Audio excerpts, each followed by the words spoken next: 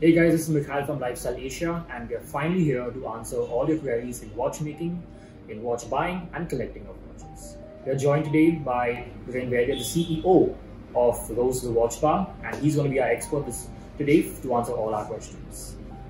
Hello, everybody. Looking forward to answering your questions, Mikhail. For someone looking to start into luxury watchmaking today, you know, what are the best brands that you would like to point them towards to get started with?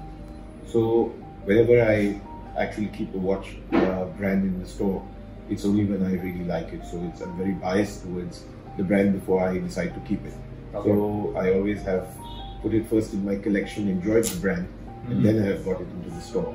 Okay. So, as of now, my favorites are Bulgari, Chopard, UN, Backes and Strauss, Arnold and Son, Okay. and Jacob.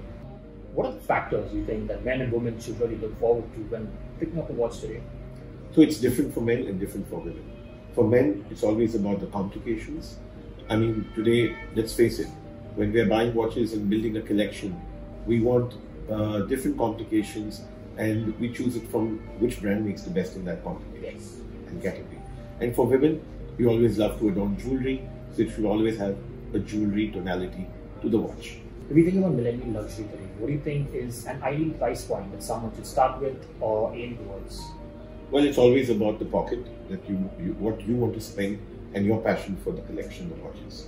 If you're starting for the first time into buying something, I think a budget of three to five lakhs would be a good starting point. Um, if you could quickly tell us what are the biggest do's and don'ts that some that people very frivolously make uh, when picking up or buying watches today.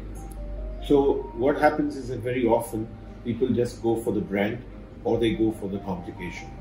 What I like to do is when I suggest watches to the client or anyone in my team is suggesting watch to the client, I make them buy watches that the brand is known for. Okay. So if, for example, someone has to buy a chronograph, I would make sure that he buy, buys a brand that has got one of the most fantastic chrono, chronograph movements.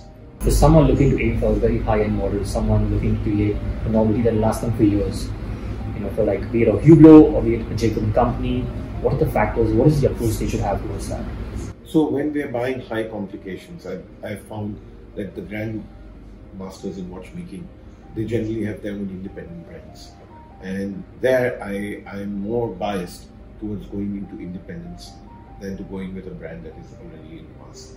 So for me, a Jacob and Company is a strong one, or uh, uh, Tourbillon from, uh, let's say, Christophe Claret, Uh-huh. or his Blackjack watch Okay. or things like that would really, really be intriguing because those are complications that normal luxury watch brands would not venture into.